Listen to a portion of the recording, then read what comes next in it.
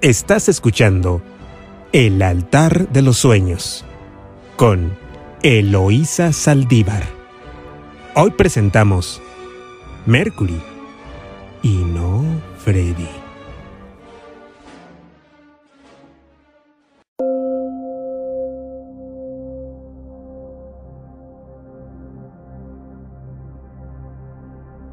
Hola, hola bebés, ¿cómo están? Espero que muy bien. Eh, bueno, pues lo prometí y tal cual se los dije esta semana. El lunes 24 saldría mi primer capítulo de el podcast El altar de los sueños. Pero bueno, así como está el planeta ahorita de, de agitado, el planeta y el cielo, pues hoy se me ocurrió hacer el primer capítulo porque creo que lo amerita todos los cambios que estamos viendo ahorita y porque estamos en el primer Mercurio retrógrado de este año, ¿ok? Entonces, me gustaría hacerles un capítulo y dedicárselo especialmente al señor Mercurio, porque pues precisamente Mercurio eso representa comunicación. Entonces, ¿qué mejor manera que iniciar mi podcast dedicado a Mercurio y a la comunicación? Eh, primero que nada, me gustaría darles las gracias a todos los que siguieron mi podcast y mi trailer esta semana y a quienes activaron la campanita. En verdad se los agradezco de todo corazón. He de confesar que cuando me notificó Paulino que estaba ya listo en Spotify, sí me salieron las lagrimitas de la, de la felicidad. Y bueno, antes de, empezar a hablar del capítulo de hoy que va a ser Mercurio retrógrado 2023, eh, me gustaría dar un poco el, como el, preámbulo de lo que va a ser el podcast. Eh, todo empezó desde que yo era niña. desde chiquita quise ser locutora de radio y ha sido, pues obviamente, algo que no, no he realizado, pero que comienza a, a verse, pues un poquito aterrizado con este primer podcast y que ya está en Spotify. Ahí lo vamos a ir puliendo poco a poco. Y pues este podcast deriva de ese sueño de, niña de ser locutora de radio. Pocos de ustedes lo, saben, ahora ya espero que muchos de ustedes entiendan el primer motivo por el cual lanzo este podcast. Y pues bueno, de ahí deriva eh, el nombre también, el altar de los sueños, y en los próximos capítulos pues a ustedes les voy a ir diciendo cómo es que se han ido Em, cocinando algunos de mis sueños y que no ha sido fácil, ¿eh? Y se los estoy diciendo yo porque, o sea, les he de ser honesta.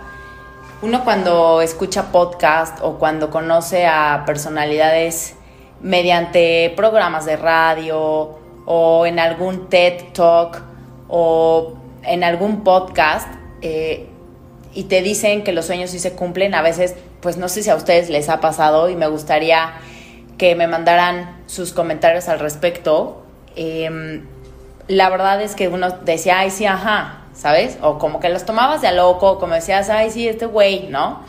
Ese pinche güey loco, sí, ajá, jura.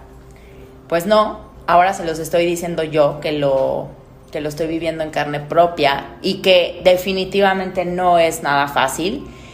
Por eso fue que les dije que hablando de mortal a mortal, pues sí, soy yo. O sea, su amiga o su compañera de trabajo, que somos más como face to face y como que estamos más conectados y más reales, ¿no? Por eso es que, que se, los, se los planteé desde esta forma.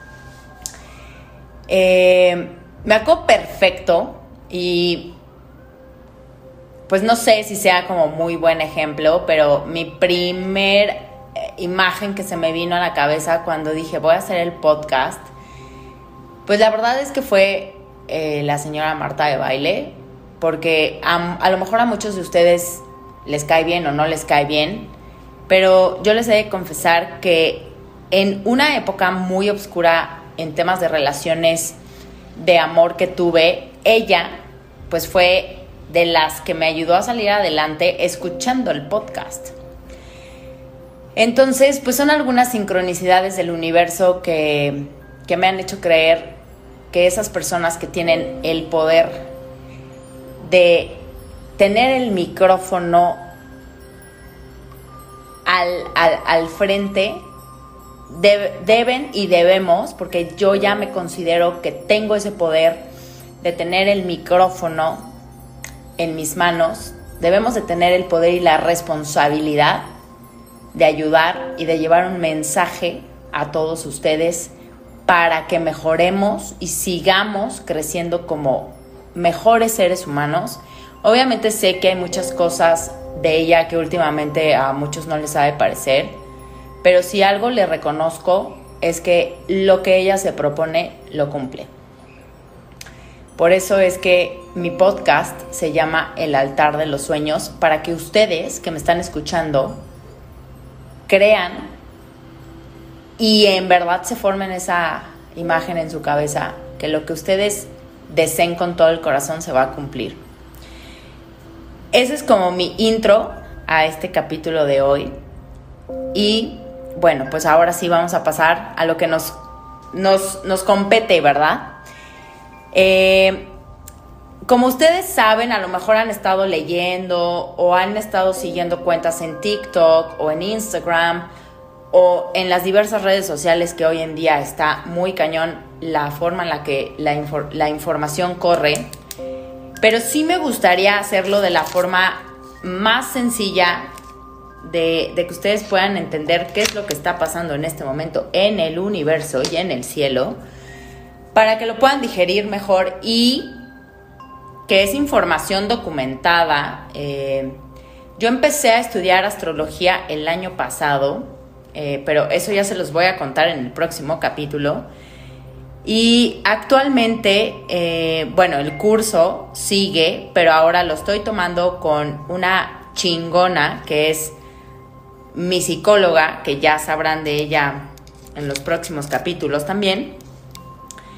Y creo que debemos de tener muchísimo cuidado a qué cuenta seguimos, de quién escuchamos la información, yo se los puedo eh, confirmar que los datos que les voy a dar no son sacados de la manga, ni me los inventé, ni mucho menos, ¿no?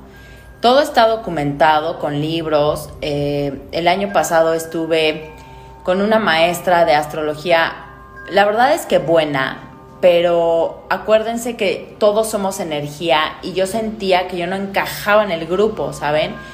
Porque yo, a pesar de que este año mi configuración y mi elemento fuego no está muy alto. Yo soy muy intensa y soy muy hiperactiva y soy muy dinámica y creo que a ella le faltaba ese punch, ¿saben?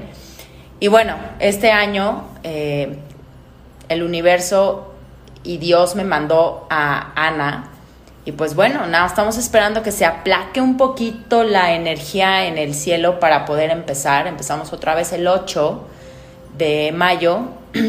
Eh, yo voy a seguir con el curso de astrología. Y es por eso que quiero que ustedes sepan que esto está todo documentado. Ana ha tomado cursos con los mejores astrólogos españoles. Eh, se ha documentado con astrólogos también eh, argentinos. Yo he estado leyendo mucho en las últimas dos semanas, igual con libros e investigaciones de astrólogos argentinos. Y pues bueno, eh, quiero que sepan que aquí no va a haber ni wannabes, ni intento de ser famosa y, y ser influencer y producir millones digo, estaría poca madre, ¿no? No se los voy a mentir, este es mi ego hablando. Pero sobre todo quiero que, les ayude, como les dije, el tener el micrófono en las manos debe de ser una herramienta poderosísima y enfocada al bien, ¿ok? Entonces, bueno, ya mucho choro, vamos a empezar a lo que nos, nos, truje trencha. Oigan, sí, por cierto, soy súper mega tía ya a esta edad que tengo, 36 años. Ya soy súper tía y ya tengo frases así de, de tía, diría Paulino. eh, este primer capítulo me hubiera encantado hacerlo face to face con él, pero pues bueno, no se puede porque el señor Paulino Lucas vive en la Ciudad de México, pero van a ver que vamos a tener esta dinámica del host y que me entrevista. Paulino hace unas preguntas súper directas y duras, ¿eh? Por eso es que creo que le va la configuración Scorpio perfecto. Bueno, eh, como ustedes saben o han leído, empezamos con el primer Mercurio retrógrado del año. Este año vamos a tener tres. Y Mercurio es el planeta que representa la comunicación, ¿ok? Es por eso que es sumamente importante este movimiento que se da en el planeta. Y pues en cierta forma incide en la manera en la que nosotros nos expresamos al mundo de cómo somos y cómo pensamos. Pero, ¿qué significa retrógrado? O sea, esto es súper importante para que ustedes entiendan la dimensión, ¿ok? Eh, en el mundo de la astrología, este es un periodo de movimiento aparentemente retrógrado, ¿ok? Lo que esto significa que cambia su trayectoria y gira en sentido inverso a su órbita normal, pero es importante decir que es aparentemente, ¿ok? O sea, aparentemente, así. Lo dejamos así, no le demos más vueltas. Bueno, directo al grano. ¿Cómo nos afecta? A todos los signos nos afectan, a unos más, a unos menos, pero a todos los signos. Es un, es un movimiento que por lo general se ve que las, las consecuencias o en donde se ve afectado algo es en la comunicación. ¿Y qué es la comunicación? Pues puede ser desde tu teléfono, que se descompone, que se trabó, que perdiste el cargador, que se te cayó, eh, que por algo el sistema que tienes de telefonía no jala o que te, está costando más trabajo comunicarte o hacer llamadas, que se cae la red, que, que puede que, por ejemplo, a mí, bueno, ahora ya soy más precavida porque ya estoy consciente de lo que significa este movimiento. Pero yo era tiro por viaje, perdía los cargadores eh, del celular. Entonces, es eh, prácticamente en la manera en la que nos comunicamos que se puede afectar. Y si lo, que, si lo quieren ver de una forma tangible, pues resumidas cuentas. Internet se puede alentar, se puede caer, tu teléfono, así. Eh, en la forma, vamos a decirle, intangible, que a veces no eres consciente y por eso quiero que este capítulo se les grabe eh, en la conciencia de que cuando viene Mercurio retrógrado no es que va a pasar algo malo o que a ti específicamente te va a pasar algo malo, sino que nos tenemos que volver más conscientes en la forma en la que nos comunicamos. ¿Por qué? Porque está como, como, como, como la olla cuando pones el agua a hervir y puede que tus palabras causen un problema, porque la otra persona entendió completamente lo opuesto a lo que tú quisiste decir. ¿Por qué? Porque ahí se está dando un malentendido de comunicación. Por eso hay que ser conscientes en la manera en la que en este periodo que va del primero de abril al 15 de mayo, es el primero, son tres semanas. Anótenle ahí, se acaba el 15 de mayo. Entonces, hay que volvernos conscientes de lo que va a salir de nuestra boca. Hay que tener mucho cuidado. ¿Por qué? Porque también los ánimos pues están un poquito pesadones. Y pues la otra persona pues pudo haber entendido otra cosa y hay, un conflicto, ¿no? Eh, también eh, es un periodo para volvernos más conscientes de lo que estamos haciendo, tomar todo con pausa ¿Por qué con pausa? Porque además de la comunicación verbal está la comunicación escrita. No es un periodo muy bueno, y digo no es muy bueno, no estoy, no estoy diciendo no lo hagan, ¿ok? Para firmar contratos de cualquier índole, ¿ok? Es un periodo en donde si lo puedes posponer, hazlo. Pero si por, por algo lo tienes que hacer, tienes que firmar algún contrato, tienes que leer tres veces de preferencia todo el contrato. Yo sé que estamos viviendo en un super rush time donde ya te vale gorro, firmas y órale a la chingada, ¿no? Definitivamente no. Este no es un periodo para hacer eso. Tienes que leer todo completo, incluso poner más énfasis literal en las letras chiquitas, literal. Entonces, es un periodo donde tanto comunicación verbal hacia lo que arrojas y también la comunicación escrita con lo que firmas. Pero hay una comunicación con la cual tienes que mantener la calma y tener esa pausa que nos está pidiendo en este momento el universo. Y es cómo te hablas, qué valor te das. Es preferible que esa comunicación que tienes contigo misma sea de calidad. Por eso es que este periodo de pausas se nos está dando. Y se los puedo decir, eh, obviamente la gente que está conmigo en el day to day, mi novio, eh, los chavos del trabajo, saben, eh, en, el periodo en el que yo me encuentro es un periodo donde quiero hacer muchos cambios, pero estoy, bueno, Ana, no me vas a dejar mentir, chula, si me escuchas. Perfectamente nos describimos hace unas pocas semanas, estamos como en el estira, afloja, estira, afloja, como literal las puertas de cantina, ¿no? Que abren, cierran así, así, tit, tit, y pues no.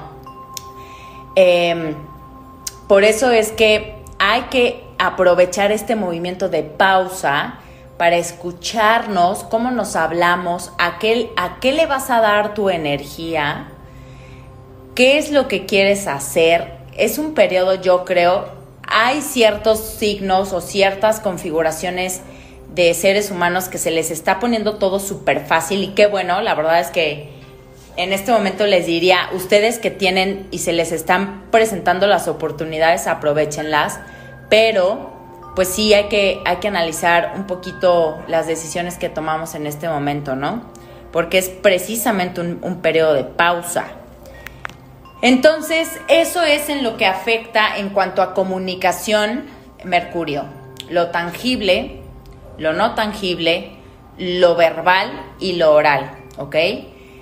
Eh, si de plano ven o sienten que las palabras que van a arrojar en ese momento van a causar algo, traten de respirar lo más profundo posible y cambiar eh, un poco la manera en la que lo vamos a decir.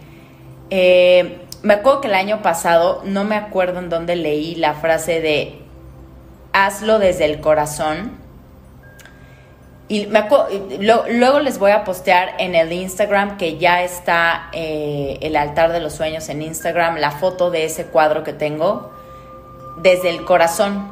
Cuando hablamos desde el corazón, nuestro sentido de las palabras pueden cambiar. En los próximos capítulos les diré cuando no lo hacemos con el corazón y cuando lo hacemos desde el enojo, qué es lo que nos pasa y, pues, no me van a dejar mentir. Eh, entonces hay que tener muchísimo cuidado con estos aspectos. También Mercurio afecta un poco eh, pues nuestro día a día, ¿no? Eh, ¿Por qué? Porque pues esto es un, es un movimiento astrológico y se ven afectadas pues nuestras actividades día a día, desde el hecho de que pues podemos ver un poquito más de eh, accidentes de coches. Eh, a los que leen las noticias o han estado muy pegados en, redes sociales, fueron ustedes testigos de lo que sucedió con el SpaceX de Elon Musk. O sea, ese hombre necesita un astrólogo, pero ya. Eh, ese fue prácticamente el trailer porque fue un día antes de que entrara Mercurio retrógrado lo que pasó, aunque dijeron que era obvio que estaba planeado. Mm, bueno, no lo creo, pero bueno, vamos a pensar que sí. Ese fue un ejemplo. El segundo, los choques de los dos aviones en el aeropuerto de la Ciudad de México también es otro, otro ejemplo de lo que puede traer Mercurio retrógrado. El tercer ejemplo fue la explosión de la turbina de esta aerolínea Volaris, creo, eh, explotó una de sus turbinas en uno de los vuelos a Puerto Vallarta. Bueno, ese es el tercer ejemplo de lo que representa Mercurio retrógrado energéticamente en nuestro día a día. Entonces, eh, consejos para Mercurio retrógrado de ya y que no nos cuesta absolutamente nada. A veces esta generación, la mía y probablemente las que están más abajo, ah, procrastinamos mucho lo primero que tienes que hacer es tener tu seguro de coche listo. Si no lo tienes, te recomiendo que lo contrates. Eh, ¿Por qué? Porque bueno, se dan muchísimo más los accidentes y también eh, te recomiendo que si vas a salir de viaje, no es que frenes tu vida, ¿ok? Esto es muy importante porque he visto muchas cuentas en TikTok eh, y en Instagram donde casi casi ponen como que Mercurio retrógrado es no salgas de tu casa. Eh, no, tampoco es así, o sea, no podemos frenar nuestra vida, sino simplemente esto es para que te hagas más consciente y precavido, ¿ok? Eh, hay que tener mucho cuidado con los viajes, cuidado en el aspecto que se pueden presentar retrasos, tu vuelo, tu camión, eh, puede salir más tarde por X o Y razón. También eh, pues hay que checar muy bien la hora de salida de tu boleto. Eh, pueden pasar accidentes en la carretera más de lo normal. Les voy a contar una anécdota para que vean que esto es cierto. Fue precisamente el Mercurio retrógrado del año pasado. creo que fue el último, si no me falla mi memoria. Eh, soy Pisces, lo siento, soy como muy dispersa. Pero bueno, eh, vino un amigo de Estados Unidos de cuestiones laborales a México. El vuelo todo bien y justo me dijo, oye, pues voy a aprovechar que voy a ir a ver a clientes a Querétaro y nos vemos. Yo sí, está perfecto. Yo la verdad es que en el rush es lo que les digo, em, de la oficina, los pendientes, se me olvidó. Entonces, bueno, el día que toma el camión para venir a Querétaro fue justo el día, no sé si ustedes se acuerden, que unos manifestantes bloquearon la caseta de Palmillas por cinco o seis horas. Bueno, pues él estaba en el camión ese día y estaba como muy desesperado, obviamente, porque imagínense, o sea, cinco horas donde todo el camión, muchísimos coches, parado cinco horas sin poder mover y sin poder tomar eh, algún atajo. Entonces, pues me escribió y me dijo, bruja, ¿qué pedo? Y, o sea, en ese momento yo, fuck, está Mercurio retrógrado. Entonces, pues sí, le dije, o sea, él sí como que me cree todas estas cosas brujiles y astrológicas. Y le dije, güey, se me fue cañón la onda, es que estamos en Mercurio retrógrado, este tipo de cosas pasan, lo único que te queda es ponte a adelantar trabajo, si traes un libro ponte a leer y relájate, es que no puedes hacer absolutamente nada, ¿no? Eh, eso fue directamente a él, pero yo un poquito involucrada. Y espérense, este año eh, estábamos en enero y nos tocó justo em, el último periodo de Mercurio retrógrado que abarcó 2022 y los primeros días de, enero del 2023. Ese no se considera que, es parte del 2023. ¿Por qué? Porque se dio la la, retrogradación de Mercurio en el 2022, ¿ok? O sea, para que estemos en el, en el entendido y no nos hagamos bolas. Pues adivinen qué. no hice caso de mi seguro de coche. Hagan de cuenta que, que yo ya estaba, o sea, prácticamente así de, güey, necesito el seguro de coche, necesito el seguro de coche. Ahí viene Mercurio retrógrado. Ajá. Me valió y yo, ajá, me sentía que no me iba a pasar. Me acuerdo que hasta mi asesor de, de, seguros me escribió y me dijo, ¿qué onda? ¿Te lo cotizo? Ya, ándale, cómpramelo. Yo, ay, sí, mañana. Ajá. No hice caso, ignoré mi conocimiento. Para que vean que también nos pasa, ¿eh? No somos tampoco... Eh, no, pues es que es, este ego que nos gana. Entonces no hice caso, no lo compré y adivinen quién chocó en enero. Yo. Justo en Mercurio retrógrado. Eh, gracias a Dios no pasó a mayores, fue algo súper leve. Iba conmigo Paulino.